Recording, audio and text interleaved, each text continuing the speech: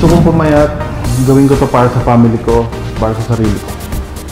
I will be the perfect challenger because um, I am very much motivated to lose weight dahil um, I was already advised by my doctor to do so.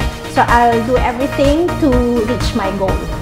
Well, obviously, I'm overweight and I've been like carrying this for five years now, and I think it's really time to shell them out.